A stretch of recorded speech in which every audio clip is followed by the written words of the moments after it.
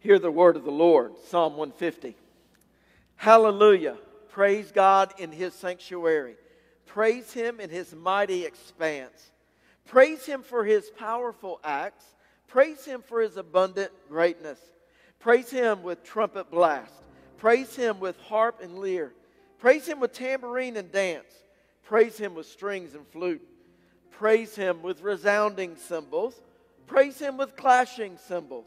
Let everything that breathes praise the Lord. Hallelujah. Amen. Church, stand and worship with us today. Victory in Jesus.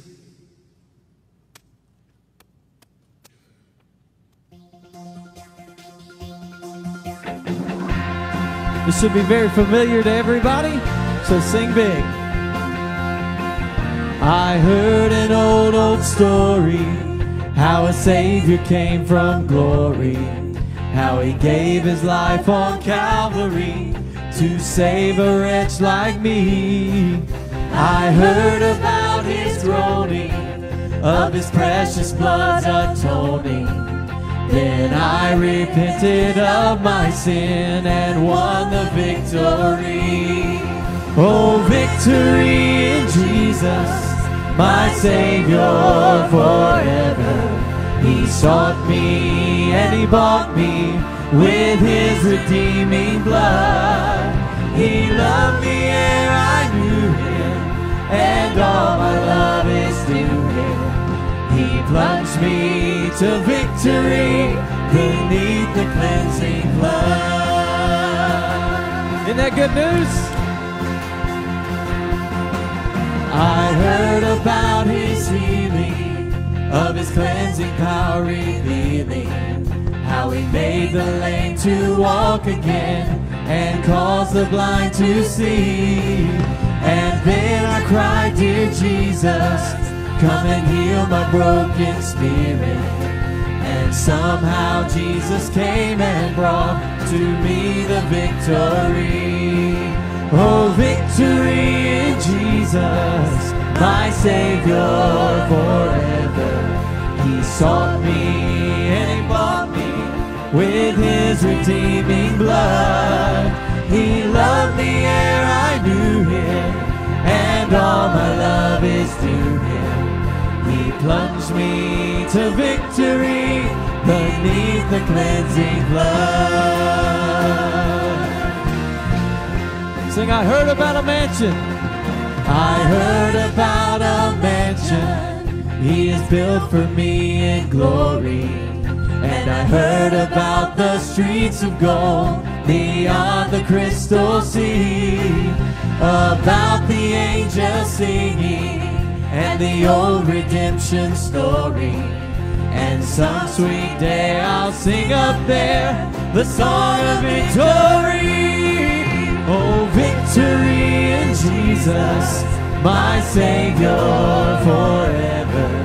He sought me and bought redeeming blood. He loved me ere I knew him, and all my love is due him. He plunged me to victory beneath the cleansing blood. Oh, victory in Jesus, my Savior forever. He sought me and he bought me with his redeeming blood. He loved me ere I knew him, and all my love is to him. He plunged me to victory beneath the cleansing blood. Isn't that a great way to start the service off today? Amen. Amen. Come on up, Pastor Doug. All right, y'all can be seated. Can be seated. Uh, my name is Doug Mize, pastor here at Greer First Baptist Church, and we appreciate you social distancing, but we're back having church again, worshiping the name above every name. We had a really, really good service at 9 o'clock. Wow, we've got a good attendance here at 11. I know that many of you are watching at home, and we appreciate you worshiping the Lord with us. So, again, now, some of you are new, whether you're watching online or you're, new or you're in this service and you're new.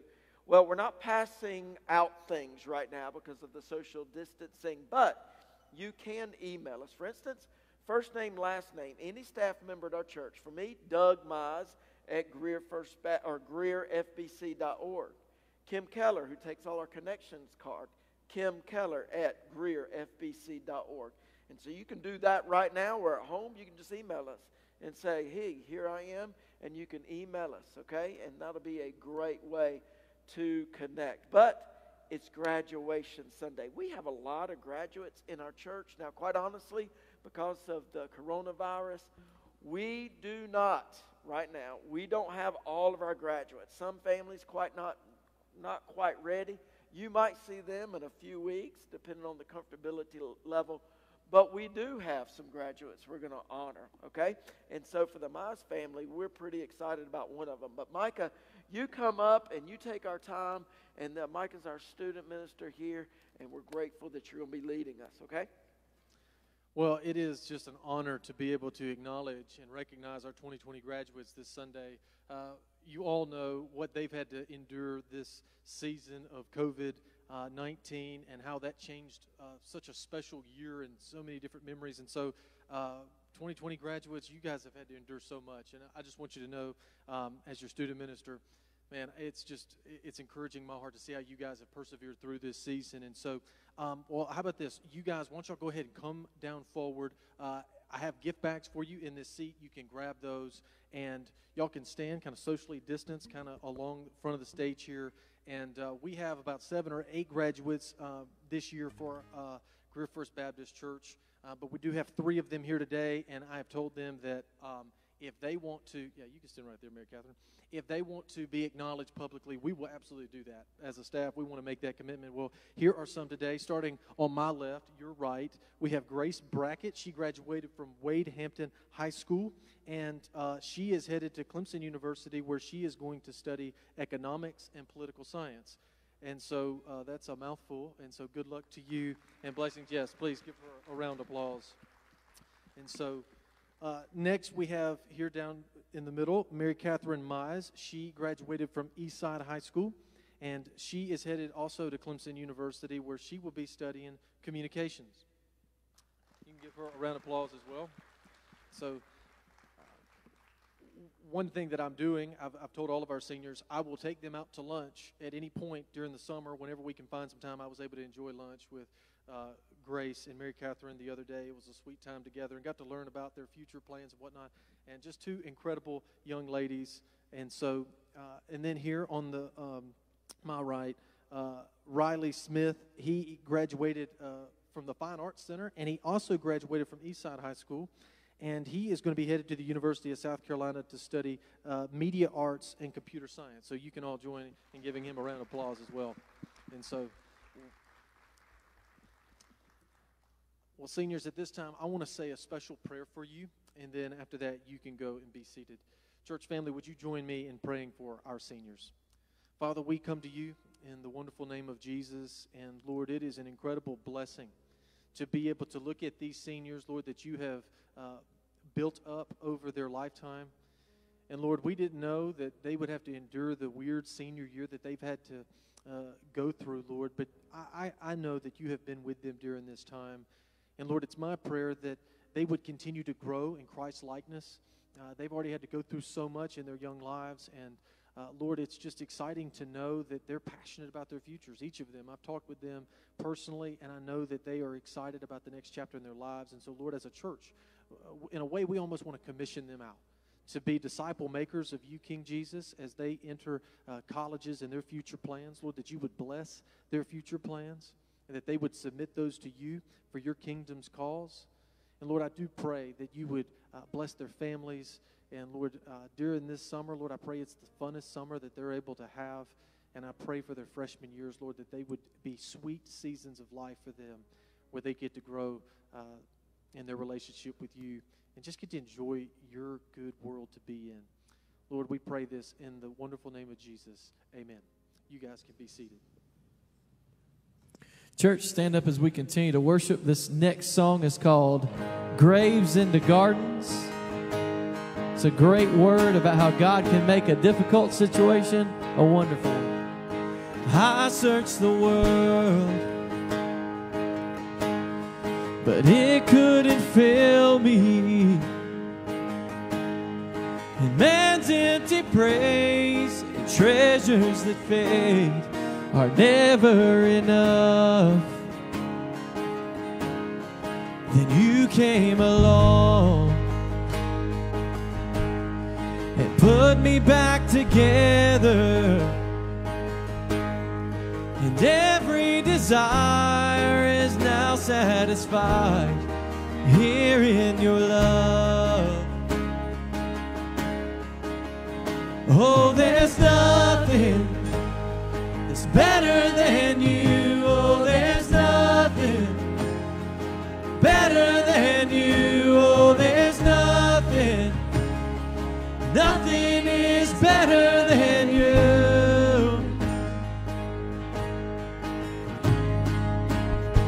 This next part says, I'm not afraid, and I'm not afraid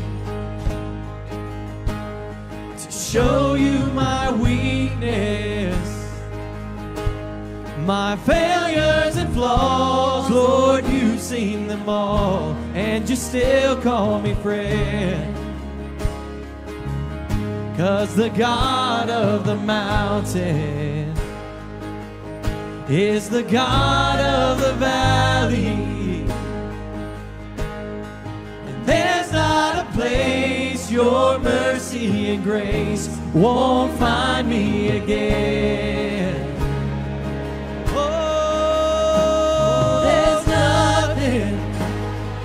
Better than you. Oh, there's nothing that's better than you. Oh, there's nothing, nothing is better than you. Sing that again. Oh, there's nothing that's better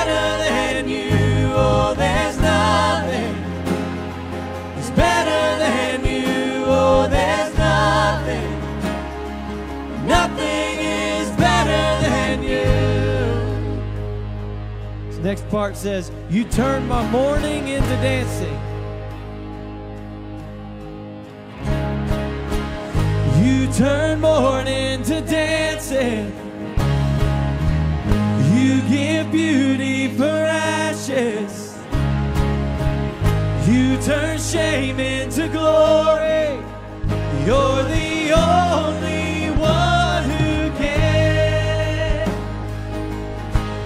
turn mourning to dancing. You give beauty for ashes. You turn shame into glory. You're the only one who can. You turn graves into gardens. You turn bones into armies. You turn seas into highways. You're the only one who can. You're the only one who can. Oh, there's nothing that's better than you. Oh, there's nothing better than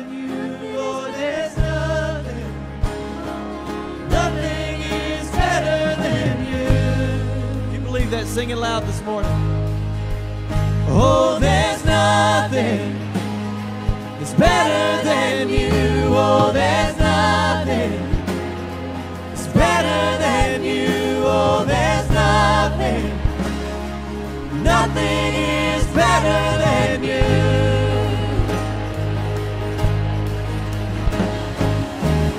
You turn graves into gardens. Turn bones into armies. You turn seas into highways. You're the only one who can. You turn graves into gardens. You turn bones into armies. You turn seas into highways. You're the only one who can. You're the only one who can. You're the only one who can. Amen. Father God, in your word, we learn, God, in your word, we learn that you can take nothing and turn it into something. God, we learn in Ezekiel that you can take dry bones and say, Bones, stand up. And they will live because you told them to. Lord, we learned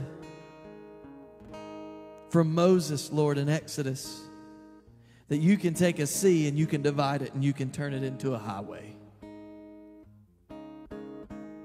And Lord, when things seem hopeless, you give hope.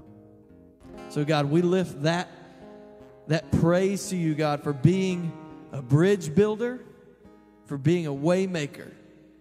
We lift you, lift you up and glorify you and praise your name. God, thank you for dwelling with us today. It's in your son's name I pray. Amen. Church, you may be seated.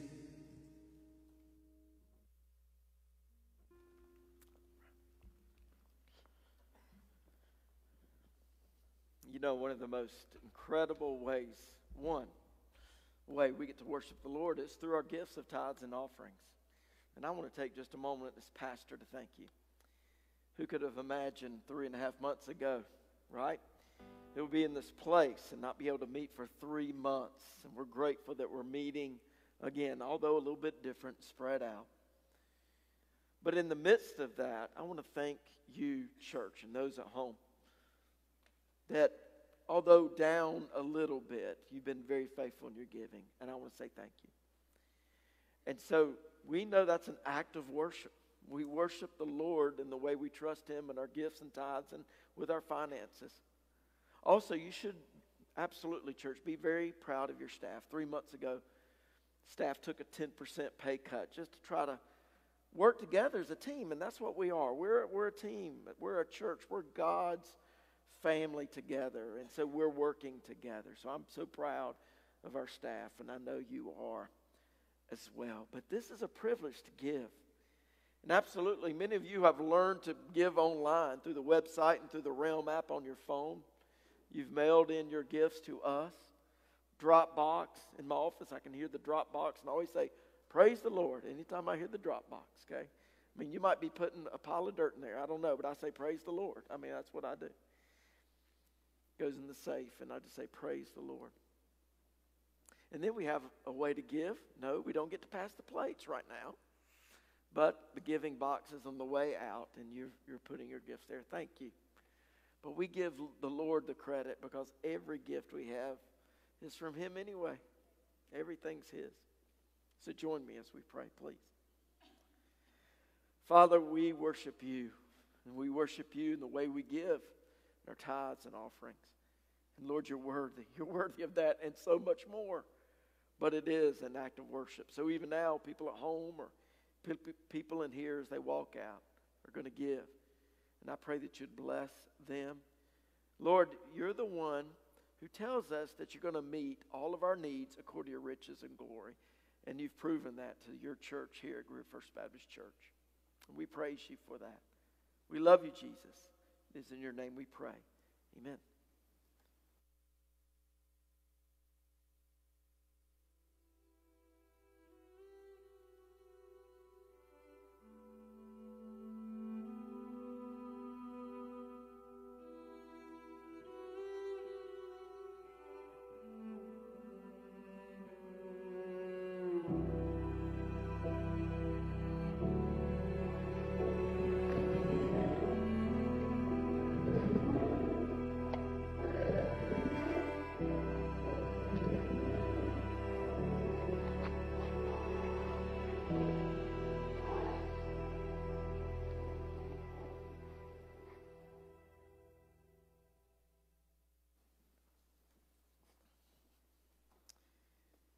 In the first service, we had a few more of our younger families and some children with us, and we do we do in this service as well, and probably some at home.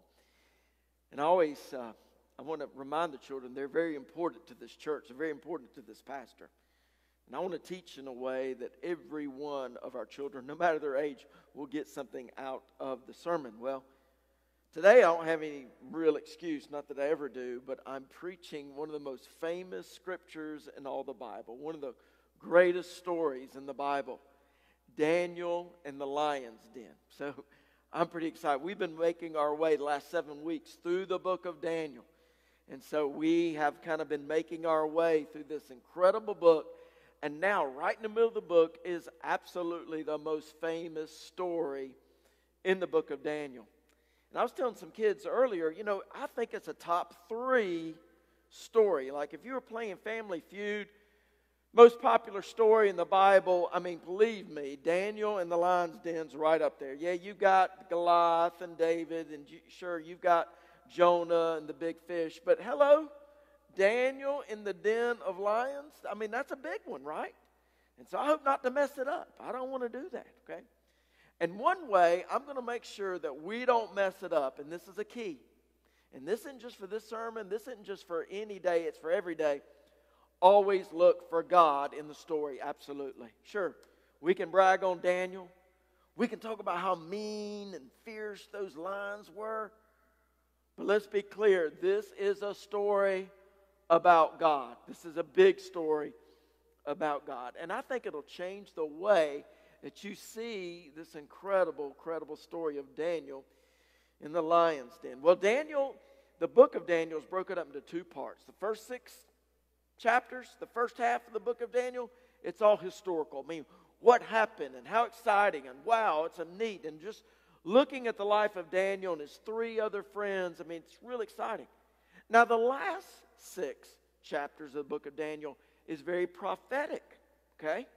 And so it's still very interesting, but it's interesting in a different way. So, the last half of the book of Daniel, we're going to look at some prophecies and what exactly is Daniel trying to get us to see in the last six chapters, but we're right in the middle today.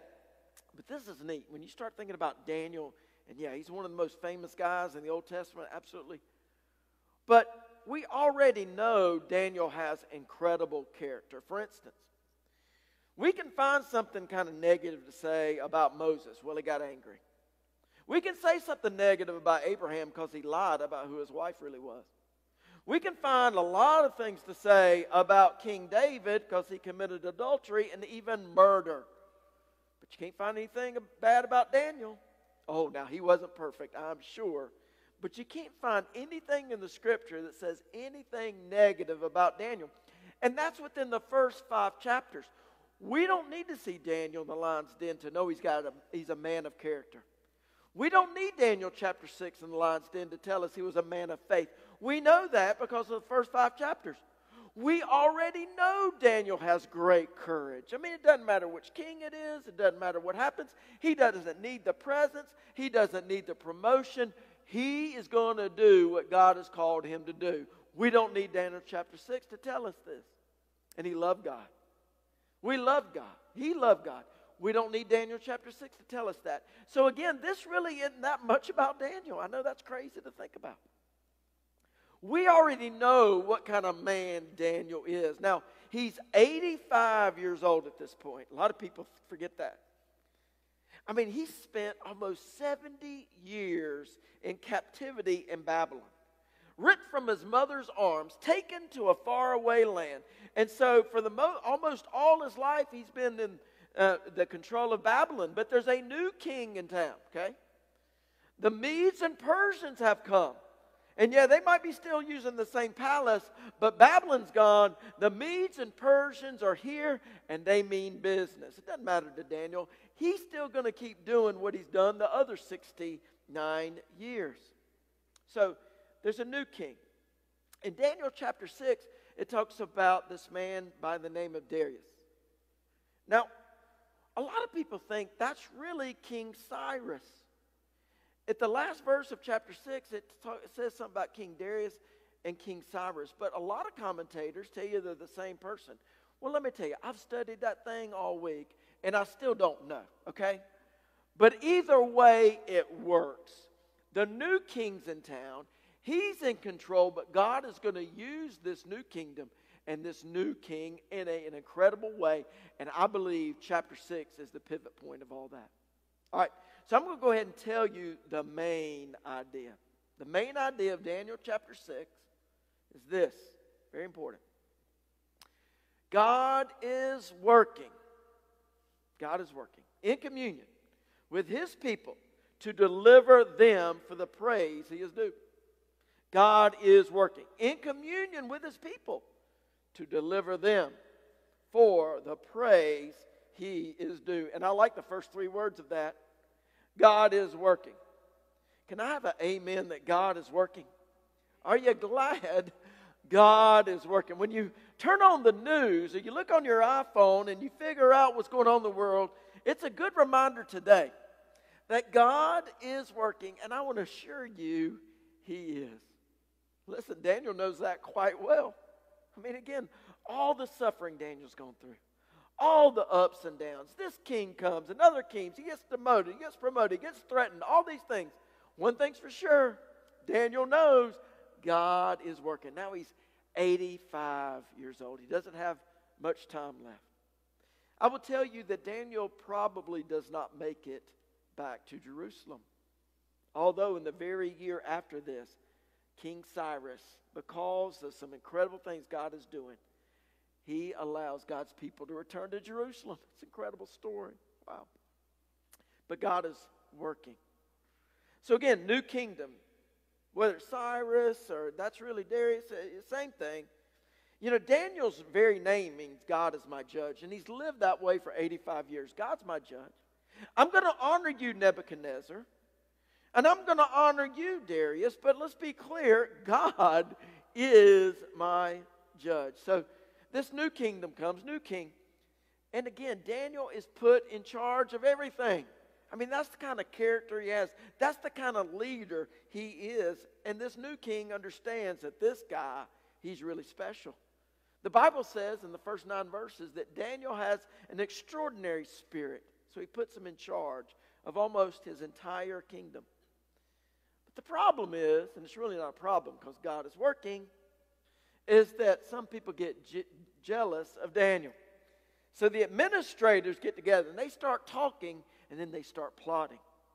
We don't want Daniel in charge of us. We got to come up with a plan. But the Bible says in the first nine chapters, they could not figure out any way to accuse Daniel of anything. But they did know something about Daniel that he loved God more than anything. So they devised a plot, they devised a plan, and they went to King Darius and said, Listen, let's make a law, and you sign the law. Use your signet ring.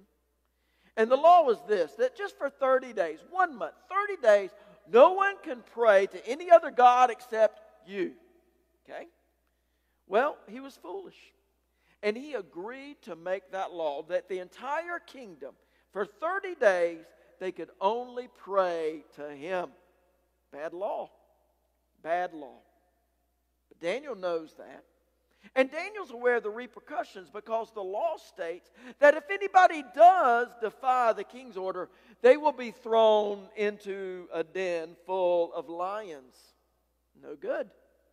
Well, Daniel, his name means God is my judge. He understands the consequences he understands what could happen. But remember the theme God is working. And this is a tough thing. You say, why does God allow this? He should have killed all those administrators on the spot, or he should, he should have made the king's heart not go along with this bad law. But listen, sure, it looks bad for the home team, but God is working. And maybe that's a good reminder for you today that God is working. Three and a half, four months into COVID 19, can I remind you that God is working? You turn on the news and you see all the racial tension, all the hurt that's out in our country right now. I want to tell you that God is working and God is up to something. He's up to something. And I need to be reminded of that every day. I need to be reminded of that. I told you last week got to spend some incredible times with local pastors, many of them African Americans. What are we doing? We're sharing. What are we doing? We're praying. What are we doing? We're, we're talking. Absolutely. I tell my pastor friends, you know, it's kind of hard to listen when you're talking all the time. It's, it's good to listen and it's good to talk. But one thing that everybody says, one thing we agree on, a lot of people hurting. Our country is hurting. Absolutely. But is God working? Oh, yes, He's working. What's our response? To listen. You know, we got one mouth and two ears, okay? So we we listen. Absolutely. And we mourn with those that are mourning, and we hurt with those that are hurting. It could be our African American friends. It can be a, a, a, a police officer um, that lost his life. And we've seen both of that. We've seen terrible things on all ends. But God is at work.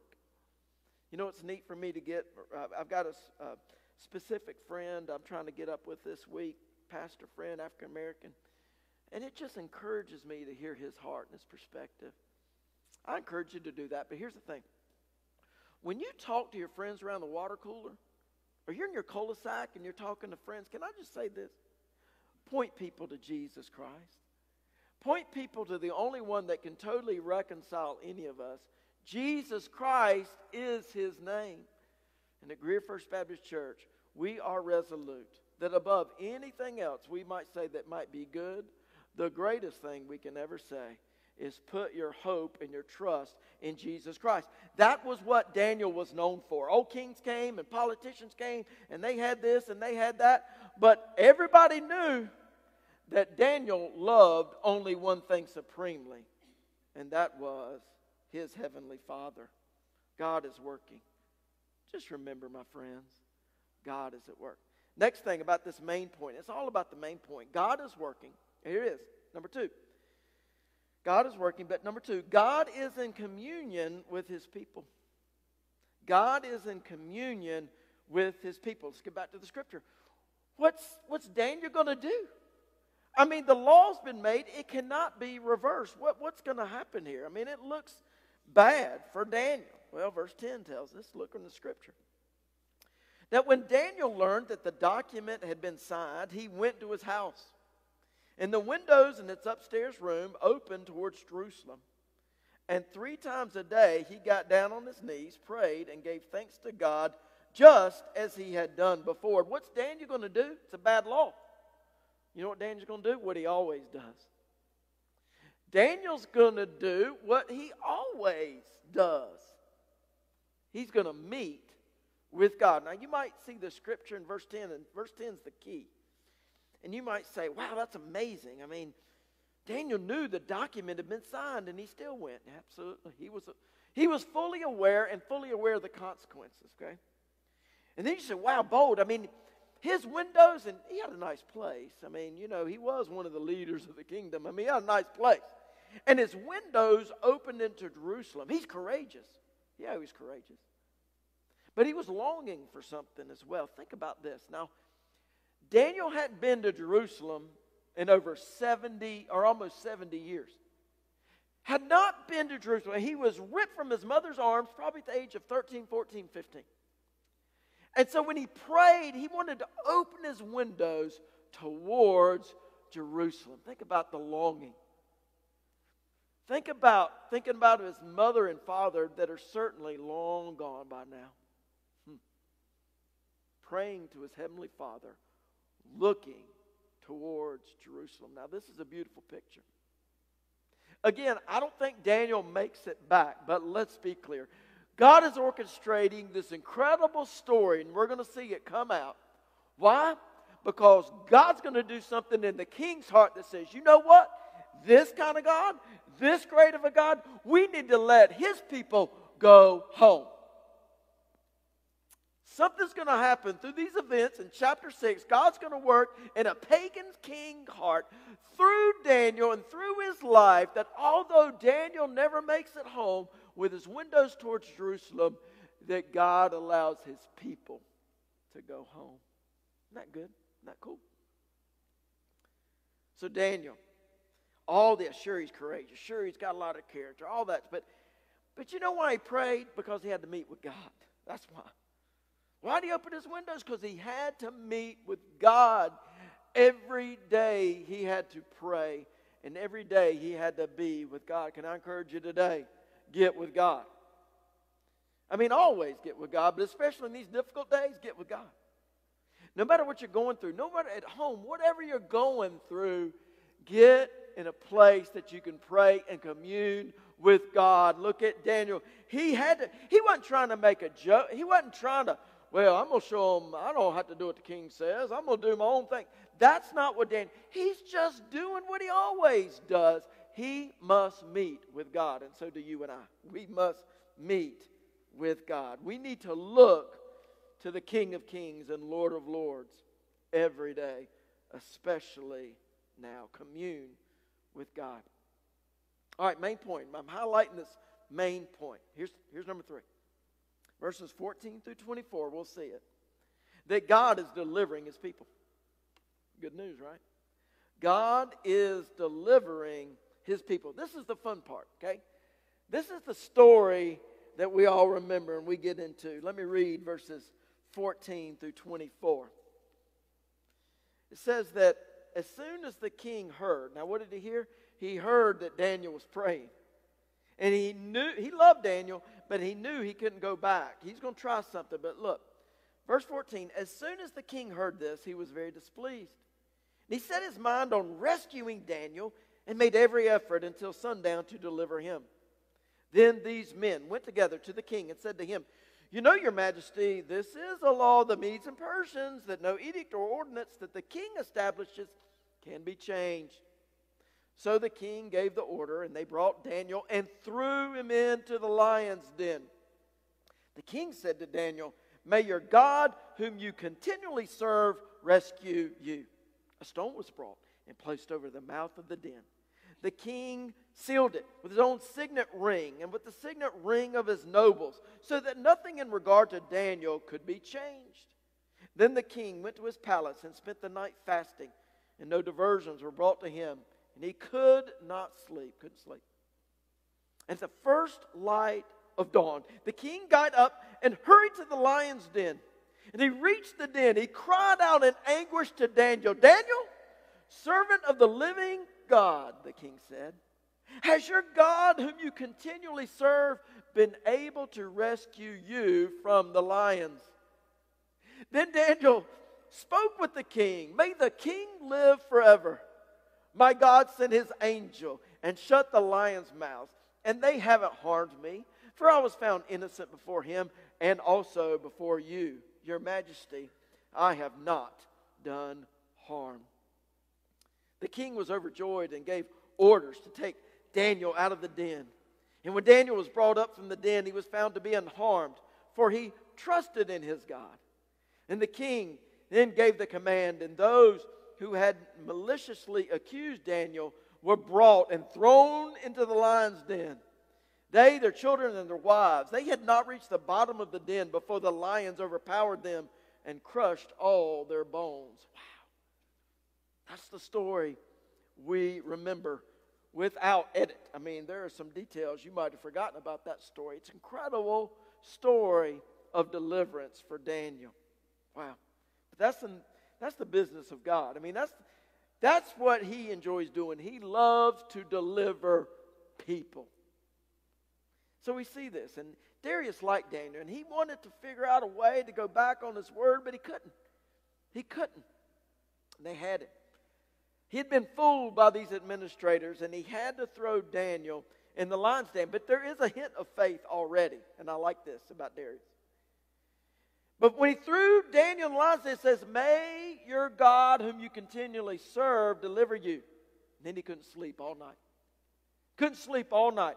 But at the very first beam of sunlight hit that temple early that morning, he ran to the lion's den.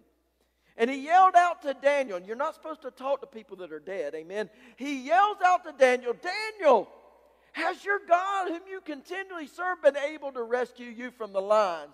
And Daniel says, You know that's right. I mean, that's what Daniel says, essentially. You know that's right, King. I haven't defiled my, defiled my God, and I haven't done anything wrong to you. May you live forever. Oh, wow. You think the king ever forgot this? An 85 year old man, this strong, this courageous, and that God had delivered him in such a powerful way. What does Daniel say? Daniel said, Well, those lions, they knew better to mess with me. You know, they knew I could handle my business. No. Daniel gives credit where credit's due. God sent his angel to shut the mouths of the lion. God did this. God sent his angel. Now, who's the angel? Well, let me give you the short answer. I'm not sure, okay? I'm not exactly sure, but I know this. When Shadrach, Meshach, and Abednego before another king was threatened and they were put into the fiery furnace, King Nebuchadnezzar looks down and says, Wait a minute, I thought there was three, but I see four, and the fourth one's walking around like he's the Son of God. And I believe he was the Son of God. I believe that was a pre incarnate um, Jesus Christ himself in the flesh with Shadrach, Meshach, and Abednego. Do I think this is Jesus? In the lion's den with Daniel? I don't know, but I'm going to tell you, this preacher likes to think it was Jesus. Daniel says, an angel. I'm not sure what they talked about that night. I have no clue. Maybe they didn't say a word to one another. But the angel, or Jesus Christ, whoever he was, closed the mouths of those lions and protected Daniel. oh, don't you love the story? There's something greater than this. I mean, you know, Daniel is spared, and we tell our kids and all the Bible stories, and that's how God worked in Daniel's life. That's right. But you know, God's more interested in saving just Daniel because within one year, you can read about this in Ezra. It's also written about in Chronicles. King Cyrus, he's got a new law, and this law has nothing about bow down and pray to me. There's no gold statue this time you got to bow down. It's a new law, it can't be changed. And he says, There's a new God in town. And God wants his people back. And I'm going to let them go. I'm going to let them go. Let God's people return to their homeland, and we'll send them money. And one day they're going to rebuild the temple because I found out who the real God is. Do you not think he's talking about Daniel 6? You know the king knows what he's talking about because he saw God work in this miraculous way delivering Daniel. Yeah, God wanted to deliver Daniel, but you know what? He's 85 years old. I mean, if he didn't make it, it's okay. I mean, I'm just being real with you today. But more importantly, God was going to deliver Daniel so that all of God's people could have deliverance. and there's someone greater than Daniel we point to. You know, Daniel, he was a son of David. Okay? Now, of course, Daniel never had any children, he was in captivity. No children, but he was still a son of David. But the Bible says, and even Daniel knew that out of the line of David would come a ruler, not just any ruler, the ruler and his kingdom would last forevermore. And in the last chapter, chapters of the book of Daniel, we're going to look at that prophecy. Absolutely, we will. And so, another one from the line of David, but this one greater than Daniel. He's the King of kings, He's the Lord of lords. And one day, this same ruler, Jesus Christ, he would go to the cross so he could redeem all of mankind. You know, Daniel was rescued from the mouths of the lion, but when Jesus Christ went to Golgotha's hill, there was no substitute. When Abraham had grabbed the knife to sacrifice his son Isaac, God intervened and sent the ram who was slain instead of his son. But near that same place, at Golgotha's hill, there was no substitute for Jesus Christ. He must endure the penalty for all of our sin. But when Jesus Christ bowed his head and he says, It is finished, he redeemed all of mankind. All of us who call upon his name. There's someone greater than Daniel. Look, Yeah, I like this story. I like Jonah and the big fish. I like David and Goliath. Those are great stories. But kids, teenagers, those at home, the greatest story ever, let it be known, is Jesus Christ dying on the cross for our sins. Three days later, gloriously resurrected, proving that He is God. He is able to take away the sin of all of us. That's who we look to. We look to the cross. Well, there's one final point, and it's a good point. The last point, verses 25 through 28, you'll see this that God is receiving the praise he is due. Why is God doing all this? Hey, so we can worship him, that he can receive the praise he is due. Verses 25 through 28. Then King Darius wrote to those of every people, nation, and language who live on the whole earth May your prosperity abound. I issue a decree that in all my royal dominion, people must tremble and fear before the God of Daniel, for he is the living God, and he endures forever. His kingdom will never be destroyed, and his dominion has no end. He rescues, I guess he does. He rescues and delivers. He performs signs and wonders in the heavens and on the earth. For he has rescued Daniel from the power of the lions. So Daniel prospered during the reign of Darius and the reign of Cyrus the Persian. And again, they could be the same people. We don't know. The end of chapter 6, well, it's much like the way chapters 2, 3, and 4 ended.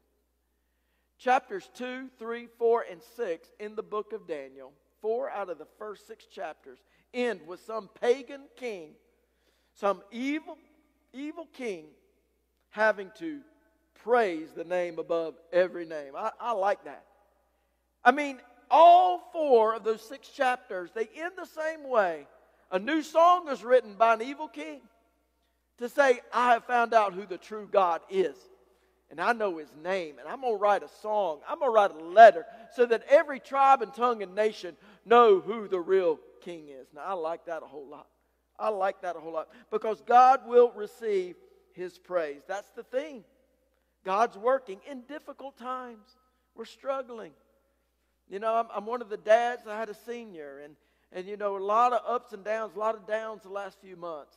And I know many of you have had your ups and downs at work, at home challenges, financial, whatever it is.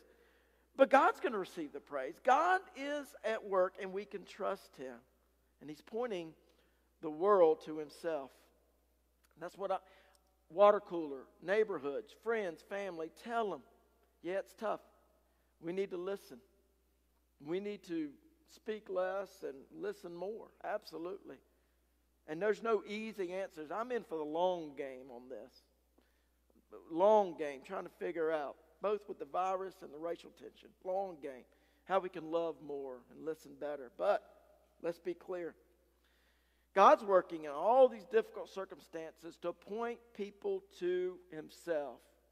Not our finances, not our sports watching, not our education, not any of those things, that we get our support and strength through Jesus Christ because He is good. My friends, He is good. Let's pray. Father, we thank you for your word. Thank you that we can gather in this place once again and worship you. You're due your praise, and you will have it. But Lord, we pray that you would soften our hearts so that we might be conformed to your image.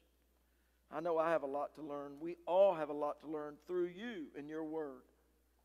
But we see from your word that there is hope, and there's hope in you. And we must commune with you, and we must understand you're the deliverer, and we must give the praise that you are due.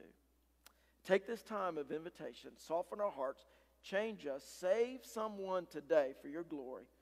It's in Jesus' name we pray. Amen. I'm going to ask you to stand. We're going to have to do invitation these next few weeks a little bit different. In just a moment, Micah's going to walk to the back door over here. And during the song of invitation, why don't we stand together? Go ahead and stand together. If you have a decision for King Jesus during this last song, you can go in the back, and I know uh, that uh, Micah and other staff people would love to minister to you. You might be ready to give Jesus Christ your life.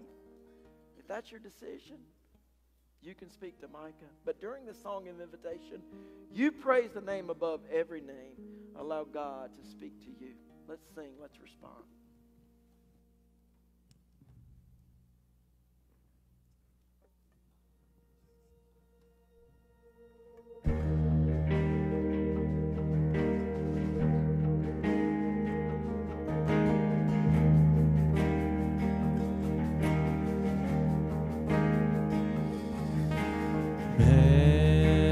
Sorrows, Lamb of God, by his own betrayed. The sin of man and wrath of God has been on Jesus laid.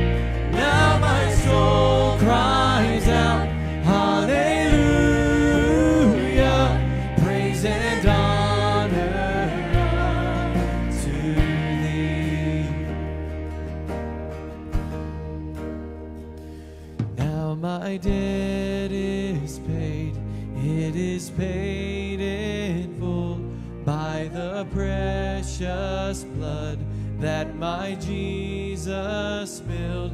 Now the curse of sin has no hold on me, whom the Son sets free.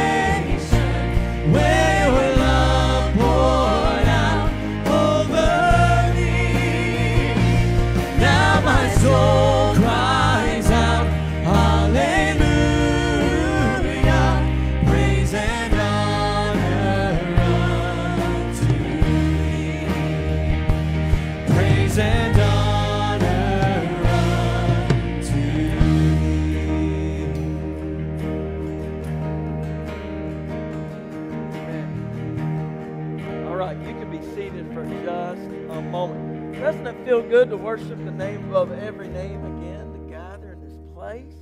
Let's give the Lord a hand. God is good. Amen. The Lord is good. All right.